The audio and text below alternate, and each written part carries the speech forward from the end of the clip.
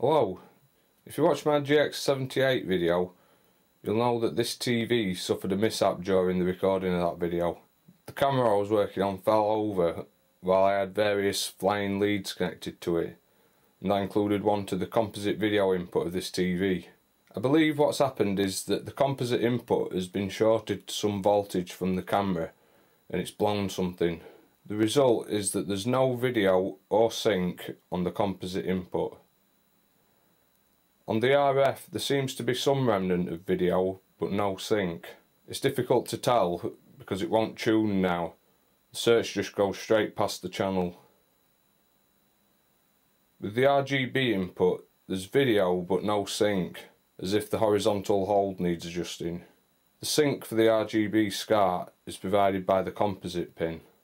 This TV is model number 15CE1518 it uses the Philips CP90 chassis. It's not a live chassis. The secondary side of the power supply is isolated from the mains by a transformer. That means we can connect the oscilloscope to that side of the circuit without having to use an isolation transformer because there's essentially one built into the TV. If we need to probe the primary side we would still need to isolate it but I don't think we'll need to do that. Here's part of the circuit. The composite input comes in here it's connected in parallel with the composite input from the SCART socket and it goes to here which is the IF and sync module. It enters at pin 13 and goes to this switch. The other input to this switch is the demodulated video from the aerial. It exits here at pin 16. As the fault's affecting both the RF and the composite, and since this is the first thing that this input's connected to I think this will be a good place to start looking. I'll have a look at what the signal looks like going in and coming out and I'll also check the supplies to the module.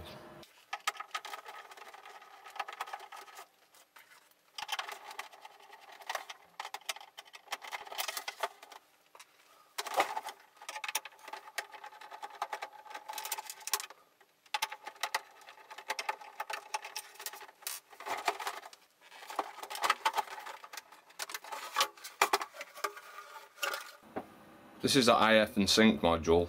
You can see it's quite difficult to get at service because it's got this screen round it. But those input and output pins are accessible from the bottom of the board.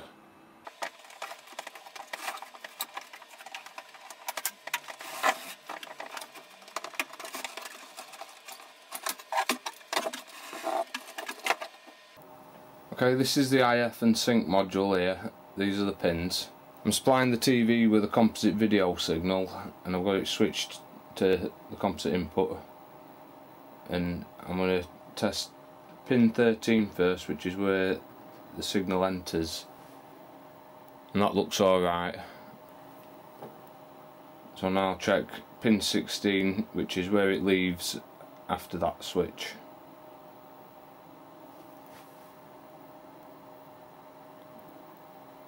and that doesn't look very good.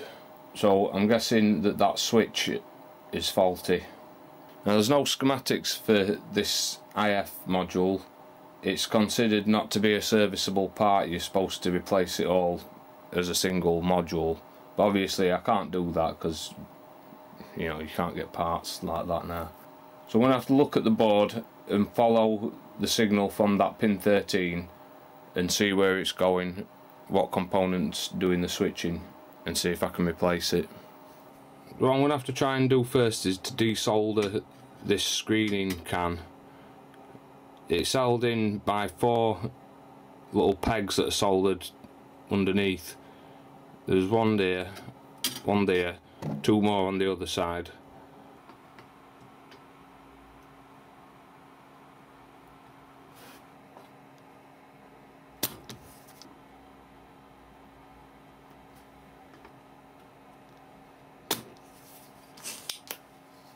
Well, my soldering iron seems to have stopped working.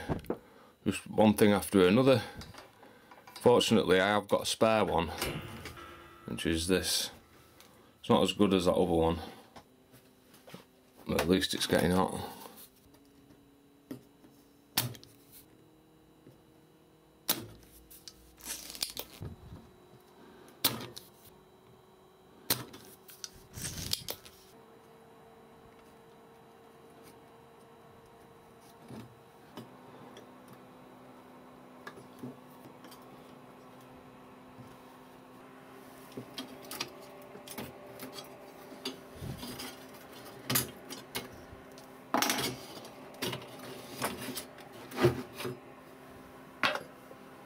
That's the board. It's kind of difficult to get in for a better view, like a face-on view, because there's this other board there. But we should be able to trace where the signal goes by looking at the other side of the board.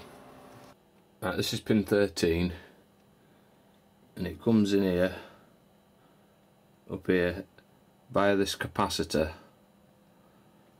then to pin 4 of this chip which is a TDA 5850 right, so this is the TDA 5850 it's a video switch and amplifier circuit.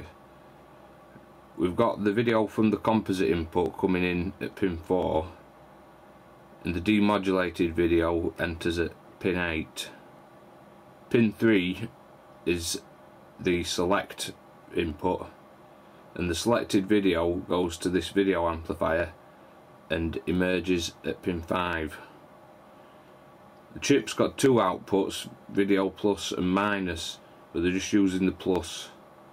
The pin 5 is connected directly to pin 16 of the module which is where we saw that poor looking video signal. So it looks like this chip's probably damaged. Right so I'm going to remove this chip. It's a little bit awkward to get to because this is kind of in way but could be worse it's not as bad as these ones down here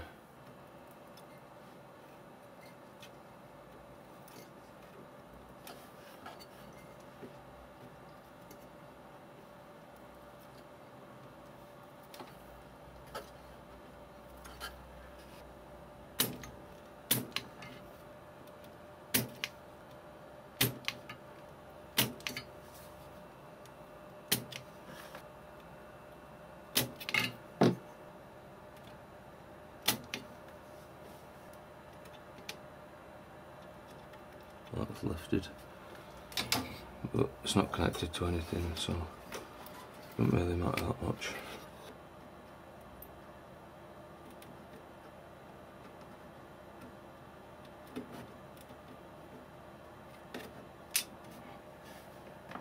And there's the chip. I've removed the chip and I've set up a little test circuit so we can test it in isolation just to confirm that it is this chip that's at fault not something it's connected to distorting the signal.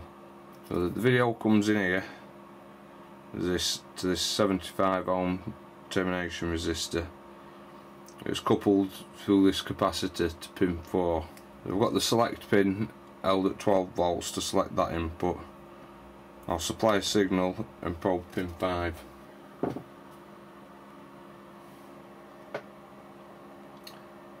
So yeah, you can see it's definitely this chip. What's pin 4 look like? See, pin 4 don't look too bad. That's the other uh, video output.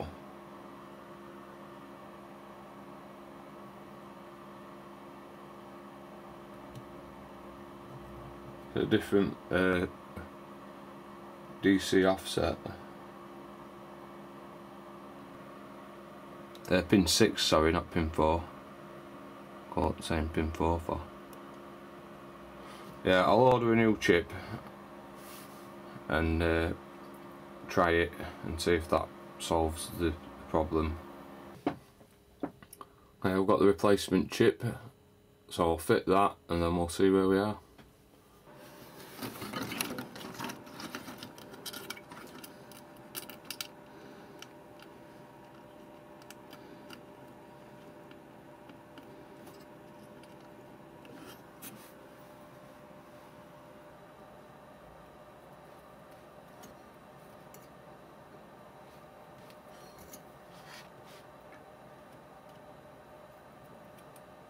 Bit big this tip really, I should have changed it.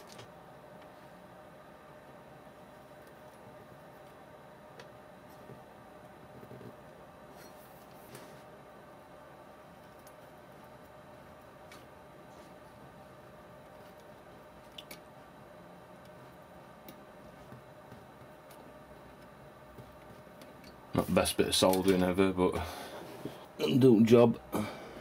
We'll get a test. Right, so I'll give it another try. Ah. There we are. That seems to be working alright. The picture looks kind of soft, but I'm not sure if it's just this tape, to be honest. I've set the white balance on camera, picks it up a bit better. It does look a bit soft. But as I said, that could just be this tape. I'll try some other video sources. Okay, let's see if we can tune to a channel. Oops, wrong button.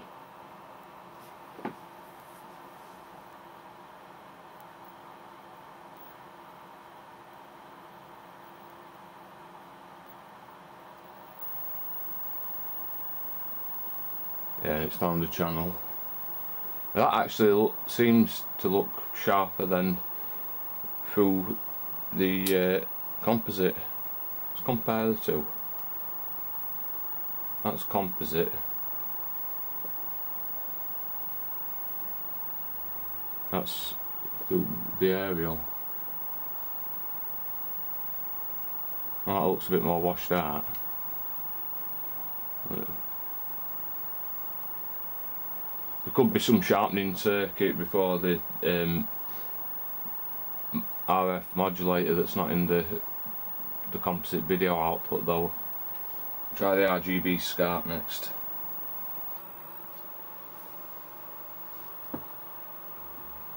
That's working.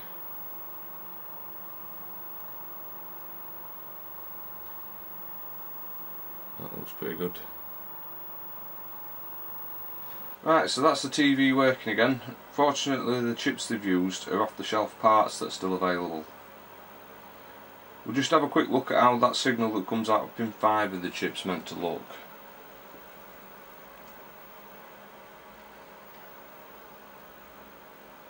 This is pin 4.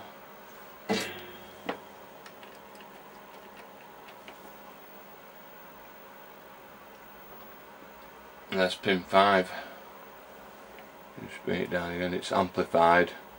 But no surprises really there. Just a video signal. Half about one. About two and a half volts. Peak to peak so what I'm going to do now is just neaten up that soldering a bit with a different tip and then put the TV back together and that's that done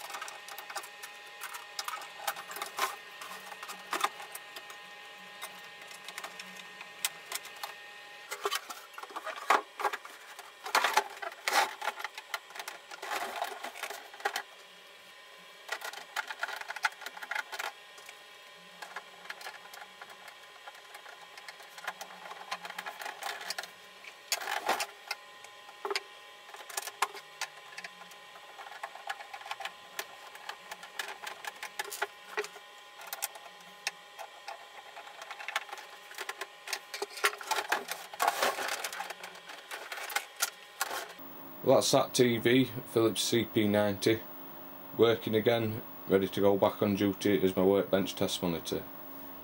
Thanks for watching, bye for now.